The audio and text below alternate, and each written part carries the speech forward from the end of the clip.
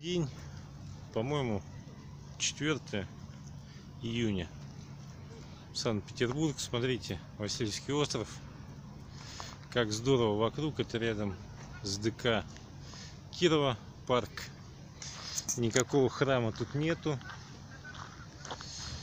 И хочется, чтобы этот парк оставался всегда парком. Потому что место офигенное.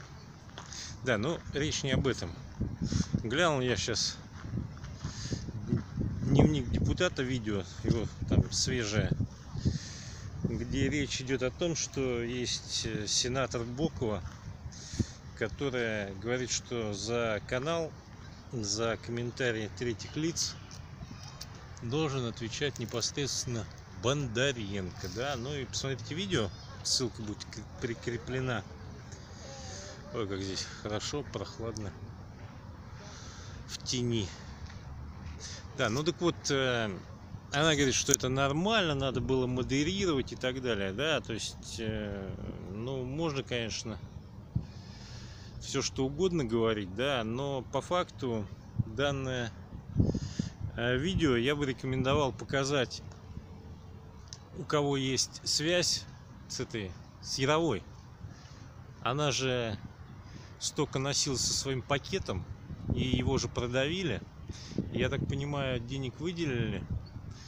Она же там рассказывала, что как только этот пакет появится, так сразу же всех экстремистов передавят.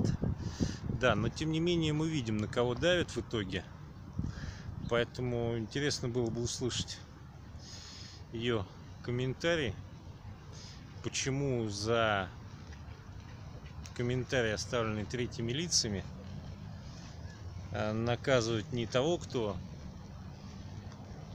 оставил этот комментарий. И, собственно, пакет яровой вроде действует, деньги выделены, а непосредственно Бондаренко, да, и поэтому возникает вопрос,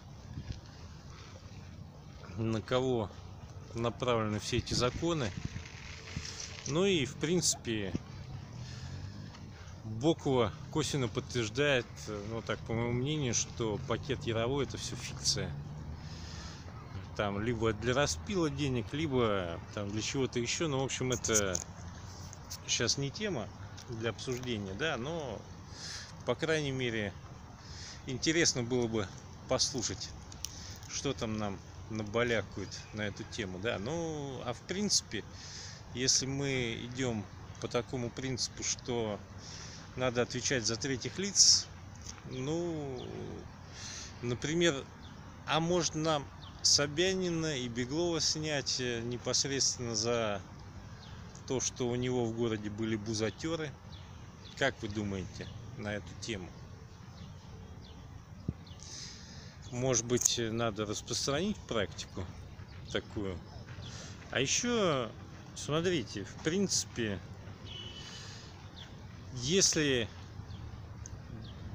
данная тема сработает, ну вот которую Бокова предлагает, то по большому счету каждый гражданин может лазить по каналам, там, аккаунтам и так далее. Вот всех чиновников, там, детей чиновников, там, и так далее и тому подобное, да, и в общем-то при любом намеке на подобные комментарии, да, то есть можно с чистой совестью подавать заявление в прокуратуру, там писать куда угодно, и пускай либо каналы закрываются, либо ребятки отвечают.